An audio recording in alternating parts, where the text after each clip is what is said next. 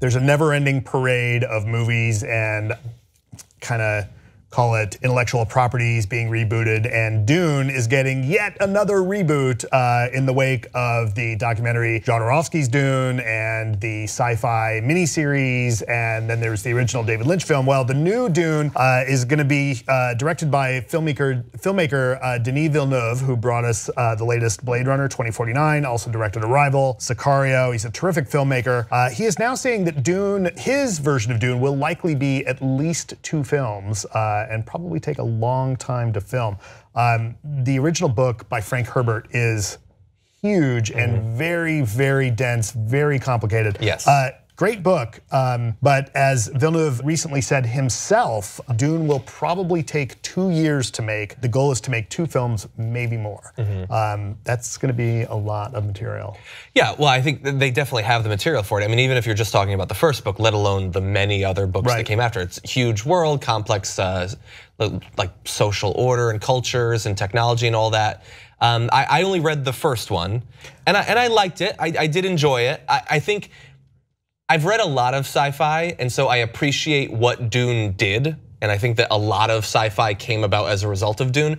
Dune is, however, written in kind of an old-timey sort of way. Yeah, it's a purposefully a little bit transcendental, a little bit like psychedelic and stuff like that, um, which I think also could make the transition over to move, the movie in a very interesting way. So Dune, I think that novel by Frank Herbert does some really interesting things. The first sentence is a great, is almost a masterclass in how to start off a story. I don't if remember not, the first sentence. If you've not read it, go back and look at the very first sentence. It's it's something along the lines of, as the old woman walked down the hallway and it goes on, and you're immediately drawn in. Mm -hmm. um, you know, and, and, Frank Herbert has talked about how he was inspired to write that book after uh, the Jonestown massacre, and he's kind of hmm. exploring what it would take for someone to take on that mantle of kind of a messiah figure and yeah. get people to do what they did, um, which he goes on and explores in subsequent books. Uh, honestly, and the Frank Herbert fans will probably be mad about this the books get less good as they go on. Really, you only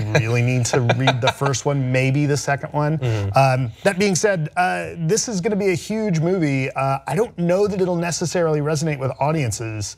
Well, I think that they have a good director. I mean, they I, do I didn't have see a great Sicario, director. but those past two were both uh, both beautiful, and I think that they they captured that sci-fi should be about more than lasers. Agreed. It should be about ideas and questions. Yeah, and I I I like that Villeneuve's got this great ambition. Um, it's not going to be a typical action movie, uh, but let us know what your favorite Villeneuve movie is. Are you looking forward to this next Dune? Uh, let us know on Facebook or Twitter.